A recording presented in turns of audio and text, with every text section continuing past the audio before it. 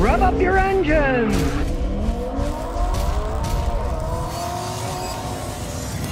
Well, Cadillac claims their Escalade electric vehicle has a 450 mile range. Well, there's only one big problem. They start at $130,000. And even to get that range, that's GM's new Ultium battery. You know, they come up with these buzzwords, right? Well, you gotta charge them with one of those super fast chargers. That's a DC charger. There's not that many of them around, right? Most people, what are they gonna do? They're gonna charge them at home. Now, you can't plug them in your 120 volt at home because if you did, a car like this would take three, four days to charge up, right? So you'd have to put in a 220 volt system to charge it a level two charger, right? But even with one of those level two chargers at your house, you're only going to get about 36 miles per hour of charge. So that's going to take almost 13 hours to recharge it fully, right? And if you know anything about batteries, right, these are lithium. They call them Ultium. They're still lithium batteries, right? Lithium batteries, it's not a good idea to charge them fast. So if you do take them out, you charge them fast on one of these superchargers, if you can find one that's actually working, and you're in the mode that you can use that particular company's charger, right? It's going to destroy your battery faster over time. You supercharge lithium batteries as fast as you can, guess what? The stupid things are going to overheat and they're going to lose their lifespan. They never talk about any of this stuff. Oh, it's got big range. Blah. Yeah. How'd you like a car that takes 220 volts? It takes like 13 and a half hours to recharge.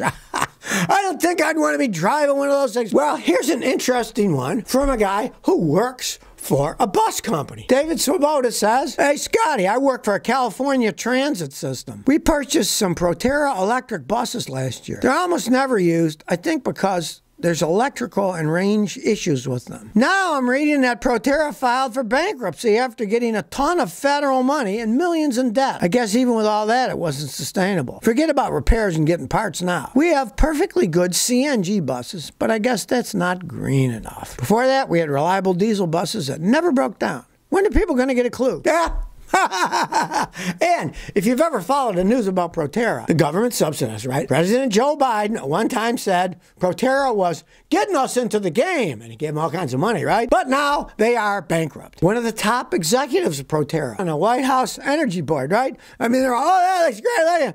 Oops, we went bankrupt. We made crap. It didn't work. Bye. And hilariously enough, the Energy Secretary, Jennifer Granholm, had hundreds of thousands of shares of it. That, of course, are now worthless because the company has gone bankrupt. Sometimes insider trading doesn't work out. And here's what Proterra said, the bus company. They made the buses that broke all the time. They're electric buses, right? They said various market and macroeconomic headwinds forced us to go bankrupt. headwinds. Maybe they should have made wind turbines instead of talking about headwinds, right? Because their electric buses didn't even work, right? And now the company's bankrupt. People have these stupid buses that they didn't work to begin with. Now they can't get parts. The company's bankrupt. Nobody's going to be buying these companies. Like I said, this is one of these deals where this belief in what they call green isn't going to work out. Now, I do have to say, these buses are now very green. They'll just sit there. They don't do anything. Put them out to pasture. Open the doors, let cows sleep in them or something, or chickens or goats, right? I still find it hilarious that Joe Biden said Proterra is getting us into the game, and these companies will end up owning the future. Well, if they do, it's going to be a bankrupt future, man. You can't make this stuff up. You know, government waste companies, then they go bankrupt. They don't even build the stuff right. You think electric buses, okay, buses are huge. So it's not like building a car where you got to make everything small so it fits in the size of a car and blah, blah, blah. You got a giant bus, bunch of people go on it. You can put big batteries wherever you want, but they couldn't even do it right. Now they're bankrupt. The government money's down the toilet. And at least one of the government bureaucrats, well, she lost a bunch of money because she had hundreds of thousands of shares of it. So I'm hoping that she bought them and weren't given them by the company. At any rate, Proterra, the beckoning of the future, it's going to be a bankrupt future. That's for sure. DJ Redden says, I got 2002 Mazda Turbo with code P1170. My friend just bought it with an aftermarket turbo. It idles, has starting issue, and the code reads P1170s. What should I do? All right, well, P1170 means it sees no change in the oxygen sensor data. It doesn't mean it's a bad oxygen sensor. You'd want to pray it is. But what it probably means is the idiot who put the aftermarket turbo kit on that Mazda Miata screwed up. Computer software has to be changed. Everything has to be changed, right? And obviously the guy did it wrong. Your friend should have never bought that 2002 Mazda with an aftermarket turbo. If it didn't run right, he should not have bought the vehicle because now he's in a rat's nest. You're going to have to find a Mazda Miata supercharging, turbocharging expert, if you can find one who's done it and knows exactly what modifications have to be done to the vehicle. Because you can't just bolt on a turbocharger kit and think the stupid thing is going to work right. When they build them in the factory, the engineers design them right, the software is right, the hardware is right. In this case, something has been bolted on, and odds are the whole thing was done wrong. Try a new oxygen sensor. Maybe the thing's broken, but I doubt it. Often it trips those codes because something's wrong in the fuel injection and the ignition system, and in this case, the turbocharging system. So it gives wrong data and it just makes the oxygen sensor stay in one framework because either it's running super rich or it's running super lean, and it just stays that way. The oxygen sensor data is supposed to go up and down, and up and down is probably staying in one part because there's something else wrong with the car. Sad but true. Well, you've even seen how bad it can be with offshore wind turbines having problems. Well, it turns out the onshore ones can be just as bad. Siemens, a big company in Europe, is showing all kinds of problems with their onshore turbines. Here's what they found in Spain are the ones that they put up. They found the onshore wind turbines had more than expected quality flaws. The company has to fix flaws in rotor blades, bearings, ranging from component failures to small cracks. And it's going to cost them billions to fix it. Now, this is a 4X and a 5X, which are their most recent, their most modern wind turbines. You think, okay, the old ones, maybe they screwed up, right? Turns out it's the new ones that they screwed up on. And here's what else they found out. Gee, you think they would have tested this stuff first, right? The problems center on the discovery that a main piece of the frame of a wind turbine can move or twist over time, damaging other critical components. Now, there's almost 3,000 of these things out there now, right? Are they going to have to fix them all? And it's the new design. Now, these problems are going to result in, they think, about $5 billion of cost. They're this technology. It isn't here. And this is the new ones. Okay, the old ones, they didn't build them right. The bearings went, the blades went. You think they'd fix it? No, they're making them worse now. Here's what a spokesman for the company says. Jochen Eickholt said wind turbines were not sufficiently tested. Oh, great. Now they tell you, you know? Put up 3,000 of these cursed things, and then they break. Oh, I guess we didn't test them enough, you know? This technology's got such a long way to go.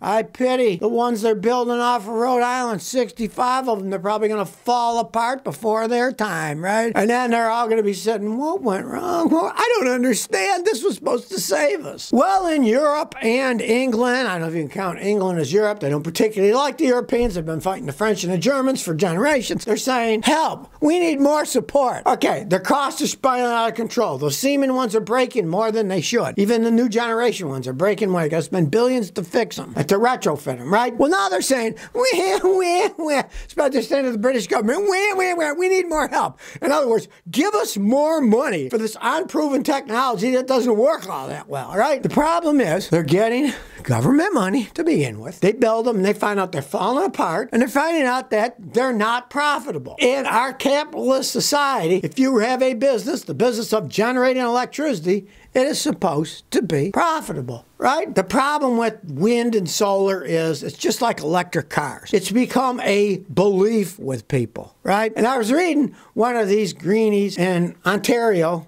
of all places in Canada, right? And the guy was saying, I don't understand why the Ontario government they keep building these nuclear power plants. Why? That's oh blah blah blah. Well, the nuclear power plants actually make the most sense, right? They generate a tremendous amount of electricity. They have a long lifespan of 60 to 90 years, right? These wind things, 10 years later, sometimes five years later, they break. And even the fanciest ones out there, the highest thing they tout is, well, these can last 25 years. Yeah, can. I haven't seen any last 25 years, right? They don't last that that long. And now they call it well, this is a cheaper alternative using wind and solar. It may be cheap, right? In terms of me, it's cheap quality, right? They don't last long, they don't generate all that much electricity. And now the wind industry, as per usual, is asking for more government help. Well, we need more help. If they're not economically viable, forget it. Everybody needs electricity, right? We live in a technological society, and a lot of the real experts in the world say the problem with the world is we need to get good, cheap electrical energy for the world, right?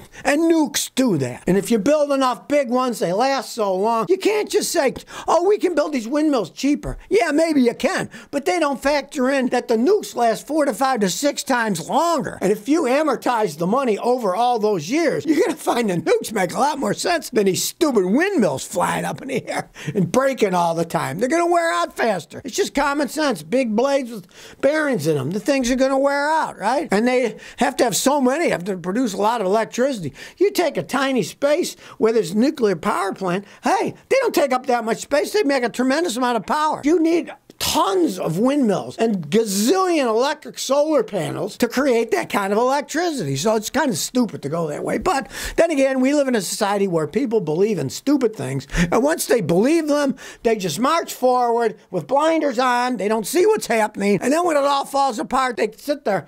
I don't understand what happened. So if you never want to miss another one of my new car repair videos, remember to ring that bell.